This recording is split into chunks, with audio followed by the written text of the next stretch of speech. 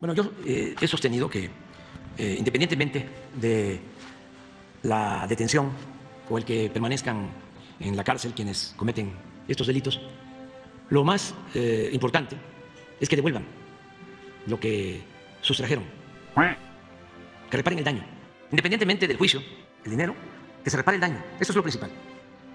Lo demás, pues de acuerdo a las leyes, pueden seguir su juicio en sus casas, Apúntele bien. pero que devuelvan el dinero. Lo mismo en el caso del abogado Collado, cuando me han pedido opinión, que devuelvan el dinero. Entonces, esa es mi recomendación y tener mucho cuidado con el Poder Judicial. Si se llega a un acuerdo de reparación del daño, yo lo veo muy bien. Ahora porque la Fiscalía ha estado pendiente y ojalá sigan atentos.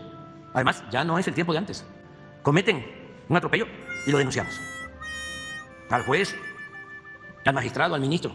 a la advertencia o la amenaza que hace la defensa justamente de Emilio Lozoya al señalar al expresidente eh, Enrique Peña Nieto de estar justamente detrás de toda esta trama de corrupción por agronitrogenados y Odebrecht. Pues que es este, eh, parte del, del proceso.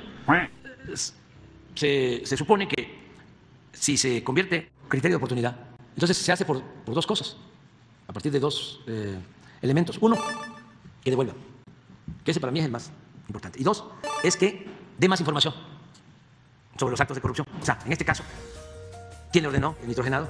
Se puede decir. ¿Quién hizo el trato? Si intervino Salinas, si intervino Peña. Pero él sabe. Lo de Odebrecht, que es otro asunto. También, ¿quién le ordenó?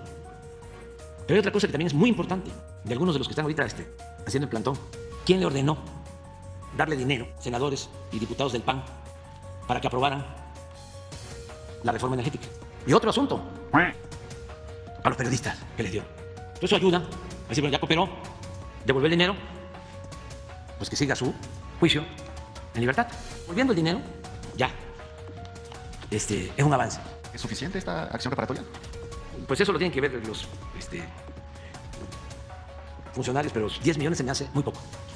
¿Cuánto eh, entregó a los legisladores? Fue muchísimo más que eso.